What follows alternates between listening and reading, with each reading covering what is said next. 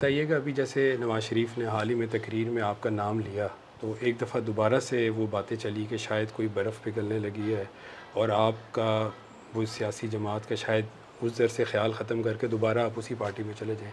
कोई इम्कान हैं इसके सर? बर्फ़ है नहीं ना। अच्छा। बर्फ़ पिघलने की गुंजाइश नहीं है। क्योंकि मेरी कोई नाराज़गी कोई खफगी नहीं है जमात से। मैंने पैंतीस साल गुजारे हैं।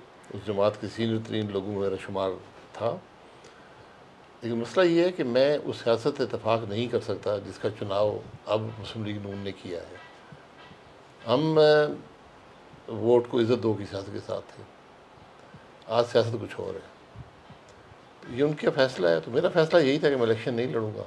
इलेक्शन नहीं लड़ा, उसके बाद बहुत से मुशावरत हुई और सबका ये ख्याल है कि नया पोलिटिकल इनिशिएटिव होना चाहिए। तो एक सब मिल के एक जमात पे काम कर रहे हैं।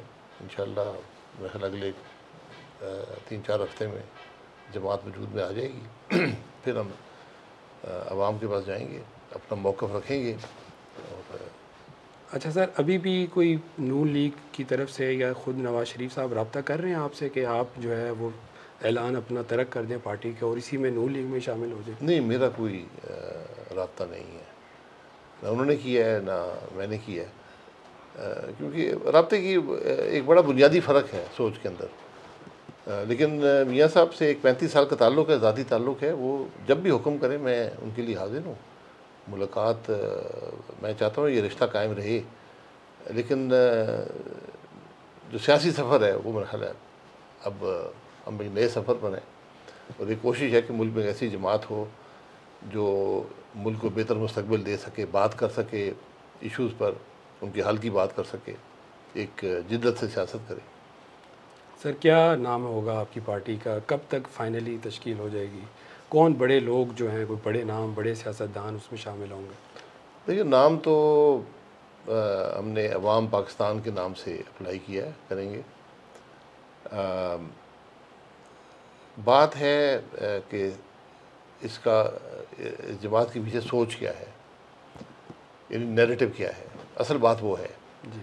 अफराद कौन से हैं? कुछ लोग हमने आज अभी तक किसी से रबता नहीं किया जा कर के जी आप जमात ज्वाइन करें। लेकिन जमात बनने के बाद हम जाएँगे आ, बात करेंगे डिफरेंट फोरम्स पर भी आ, लोगों के पास भी जाएँगे। हम चाहते हैं कि एक बुनियादी फ़र्क महसूस हो लोगों को इस जमात में दूसरी जमातों में। कि लोग ऐसे हों जो क्रेडिबल हों जिनकी इंटेग्रिटी हो और जिनकी सलाहियत हो। आज सबसे बड़ी कमी जो तमाम जमातों में वो सलाहियत की है। कि लोग ही नहीं हैं जो मामला को समझ सकें, हल कर सकें। तो हमने हर इशू पर हमने एक प्लान बनाया है। उसको आप विजन कह दें या रिफॉर्म प्लान कह दें, जो मर्ज़ी कह दें जिसमें एक हद तक हम बताएँगे कि मुल्क के मामला क्या हैं, उनका हल क्या है और हम क्या उसमें करेंगे। बात मैनिफेस्टो की नहीं होती। मैनिफेस्टो तमाम जमातों के हैं, वो एक ही जैसे हैं, लेकिन उन पर अमल दरामद कोई नहीं कर सका। तो आज जो तीन, तीनों बड़ी जमातें हैं, वो पिछले अगर सिर्फ़ तीन साल का ले सब इकतदार में रह चुके हैं। और कुछ भी डिलीवर नहीं कर पाए, मुल्क के मामला को हल नहीं कर पाए, ना उनमें सलाहियत है। और मैं समझूँगा सोच की कमी भी है, वो फ़िक्र नहीं है जिसकी आज मुल्क को ज़रूरत है।